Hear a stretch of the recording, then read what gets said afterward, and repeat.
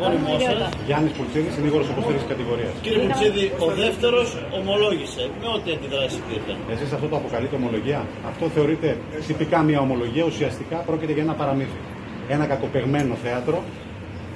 Και όλοι σας εδώ, επειδή είστε και τις προηγούμενες συνεδριάσεις του δικαστηρίου, θα θυμάστε πάρα πολύ καλά, τουλάχιστον ένα 15 μέρες πριν, πριν το Πάσχα, σας είχα πει ότι περιμένω ένας από τους 12 να πάρει επάνω του όλη την ευθύνη, αλλά αυτό δεν θα είναι ούτε το αληθές ούτε το ειλικρινές. Πιστεύετε ότι εγώ είμαι σε θέση να γνωρίζω υπερασπιστικούς ισχυρισμούς; Σε καμία περίπτωση. Έβλεπα όμως που πήγαινε συνδυαστικά με τις καταθέσεις των ιατροδικαστών, τις οποίες σήμερα ο πρώτος κατηγορούμενος, δεν ξέρω αν το προσέξατε, χαρακτήρισε την κυρία Αποστολίδη ως ιατροδικαστή μου χαρακτηριστικό ότι είχε συνοηθεί τα πάντα μαζί της αναφορικά με το τι αυτή θα κατέθετε σε ερώτηση μάλιστα που του είχε γίνει τότε αν ήρθε σε επαφή με το δεύτερο κατηγορούμενο, είπε όχι, παρά μόνο με τους υπερασπιστές του. Καταλαβαίνετε λοιπόν ότι μιλάμε για ένα κακοπεγμένο θέατρο και εδώ πέρα είναι που κολλάει η λαϊκή ρίση. Η αλήθεια δεν κρύβεται, ενώ το ψέμα, έτσι, όσο πολύ καλά και να τον παλώσει, να προσπαθήσεις να τον παλώσει, κάποια στιγμή θα φανεί κάτι. Εδώ πέρα δεν προσπάθησαν καν να τον παλώσουν.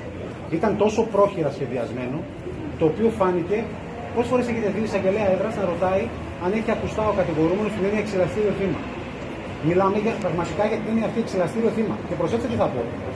Δεν μιλάμε για ένα κατηγορούμενο ο οποίος δεν χτύπησε. Προφανώς και χτύπησε. Ήταν από ο πρώτος που πήγε και ο τελευταίο ο τελευταίος που έφυγε. Προφανώς και έχει χτυπήσει. Προφανώς και έχει ενεργότατη συμμετοχή, αλλά δεν ήταν ο μόνος. Τι είπε λοιπόν αυτό σήμερα; Ήρθε να μας πει το παραμυθάκι του και το λέω έτσι ομά όπως είναι. Ότι εγώ κοιτούσα μόνο μπροστά μου, δεν είδα τίποτε άλλο Μάλιστα είμαι αριστερό, είμαι δεξιόχειρας, αλλά με το αριστερό μου χέρι αποθούσα μέχρι τον τοίχο τον Άγγελο Βογιατζόγλου, ένα, ένα των θυμάτων της επίθεσης, το οποίο προφανώς δεν προέβαλε καμία αντίσταση. Ήταν εκεί πέρα και υπέμενε καρτερικά το χτύπημα του δεύτερου κατηγορουμένου, πράγματα που δεν στέκουν στη λογική.